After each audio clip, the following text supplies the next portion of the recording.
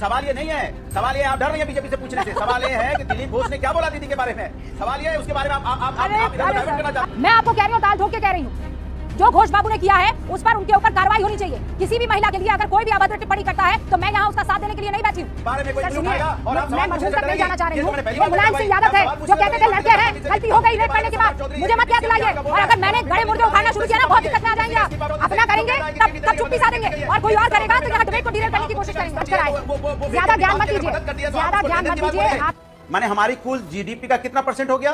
पचासी परसेंट मतलब पंद्रह परसेंट अगर हम चार पाँच साल और रुक जाए सात आठ साल तो हमारी जीडीपी हमारा कर्जा बराबर हो जाएगा कि नहीं हो जाएगा? और 2014 में 2014 से लेकर 2025 तक 280 परसेंट दो सौ अस्सी परसेंट अरे मेरी बात फुल पूरी हो जाने दीजिए फिर जवाब दो सौ अस्सी परसेंट मेरी बात का फुल बताइए। अस्सी परसेंट हमारा पूरा अरब पतियों दो सौ अस्सी परसेंट बड़ी है। अरब पतियों मैं पूरी बात करूँ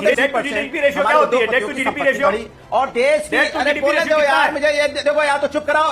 आप अच्छा बताइए है? यहाँ पे? दो पतियों की संपत्ति कितनी बड़ी है? दो पतियों की संपत्ति कितनी बड़ी है मैं देश को डाटा देना चाहता हूँ और डिस्टर्ब करना चाहते हैं। देश को डाटा देना चाहते दो सौ अस्सी परसेंट दो सौ अस्सी उद्योगपतियों की संपत्ति बढ़ी है। 280 परसेंट उद्योगपतियों की संपत्ति बढ़ी है देश की कितनी बढ़ी है? मात्र 10 परसेंट दस सालों में। भदौरिया जी डी हाँ। आपने कहा जीडीपी हिंदुस्तान की जो है उस पर कर्ज जो है उसका रेशियो बड़ा खराब चल रहा है ना? कितना है? पिचासी फ़ीसद है? इक्यासी पिचासी फ़ीसद है ना? बिल्कुल है। हाँ, लाख करोड़ बढ़ गया और आप अरे जीडीपी का साइज़ बढ़ गया है ना? आप लोग कॉमन सेंस तो रखिए ना। जीडीपी का साइज़ भी तो है ना। अमेरिका की जीडीपी कितनी अच्छा, है? अच्छा इसके मतलब कर्जा भी बढ़ जाएगा। हाँ। इसके मतलब कर्जा बढ़ जाएगा। अरे सवाल पूछा आपने? क्या सवाल ये भी नहीं मालूम है आपको। कर्जा बड़ा है। अमेरिका जिम्मेदार इसका बताइए? लोन है जीडीपी चालीस हज़ार का एक लाख करीब सुनिए एक लाख समझ तो जाइए। अपने के बारे में उसका कौन है जिम्मेदार बताइए? फ्रांस बताया आपको। डेवलपमेंट तो फ्रांस के बारे में सुना है। उसकी जीडीपी जानते हो उस पर लिया गया कर्ज जानते हैं। थोड़ा कीजिए तो आप कहोगे ब्राज़ील से सुनिए ऐसे आप कहोगे सुनिए सुनिए। एक सौ साठ मेरी बात सुनिए। फ्रांस की पर आप क्या हिंदुस्तान की यहाँ अच्छा ये बताइए। इकोनॉमिक दे रहे हैं? ओके अच्छा, हो गया सर अच्छा, फ्रांस की फ्रांस की फ्रांस की पर कैपिटल इनकम क्या एक व्यक्ति की पर कैपिटल इनकम क्या है? आगे बढ़ूँगी फिर दूसरा देश लाऊँगी व्यक्ति की पर कैपिटल इनकम क्या है? रोजगारी भाग रही है भाग रहे हैं भाग रही है। आप भागेंगे फ्रांस की व्यक्ति की पर कैपिटल इनकम क्या है? मेरी बात सुनिए।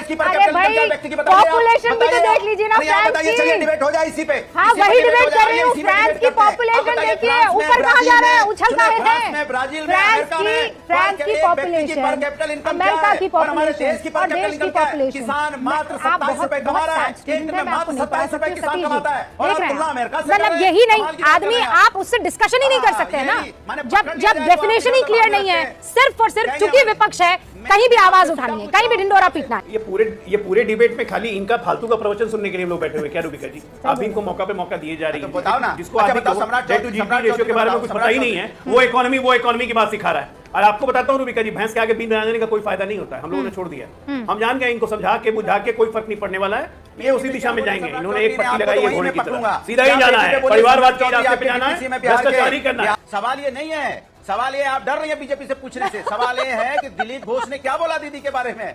सवाल ये है उसके बारे में आप आप आप अरे, आप इधर डाइवर्ट करना चाहते हैं। सवाल ये है कि दिलीप घोष एक सेकंड थाम बात थाम बात थाम बात ये कल की खबर थी कल उस पर बहस हो गई। आपको तो कल उस पर बहस हो गई है। मेरा नाम रूबिका यादव है। सर। नहीं हुई है। क्या मैं, ने क्या, मैं सवाल पूछने से नहीं कतराती हूँ। महिला के बारे में कोई कुछ भी बोलेगा नोटिस जारी करना पड़ गया पार्टी को पार्टी को नोटिस जारी करना पड़ गया है। समझ गया नहीं नहीं मैं मैं कोई मैं कोई जेपी नड्डा हूँ जो आपको बताऊँ? सम्राट चौधरी को हटा दिया। मुझे ये बताइए जिस टॉपिक पर आपको बुलाया है उस टॉपिक पर बात कीजिए।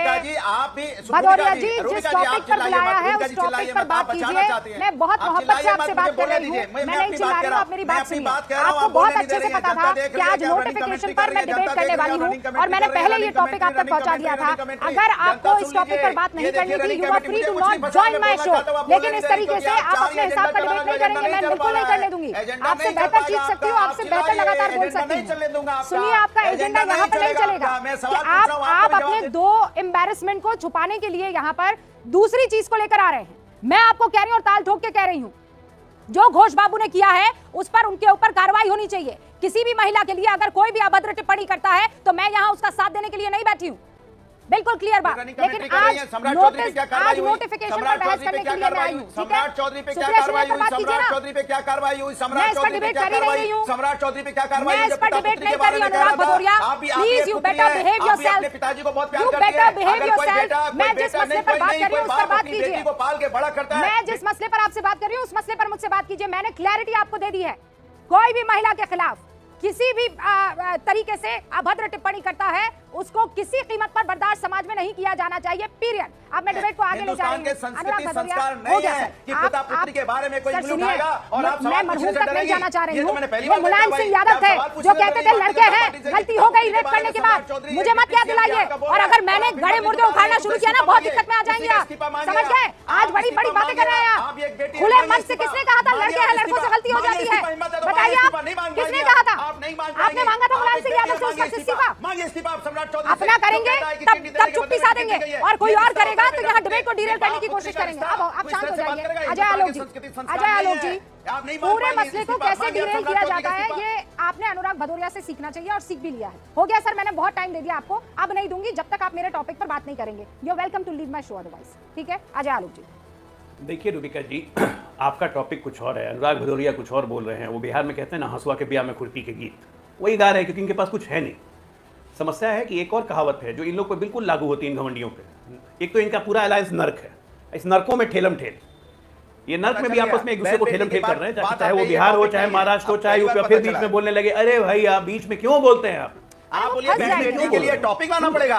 टॉपिक लाना पड़ेगा बहन बेटियों के लिए टॉपिक लाना पड़ेगा। आपका नेता बोलेगा कि नहीं में नहीं तो- कहाँ कहाँ किस किस रामपुर में तो रामपुर में तो आजमगढ़ के लोगों ने आजमगढ़ के लोगों ने बहिष्कार का नारा दिया कि चुनाव बहिष्कार करेंगे। उस पर ये कुछ नहीं बोलेंगे। अनुराग भदौरिया बस सम्राट एक चौधरी अनुराग बराबर भदौरिया कर एक रहे हैं, है? अनुराग भदौरिया आप एक सेकंड रुक जाइए अनुराग भदौरिया रुक जाइए।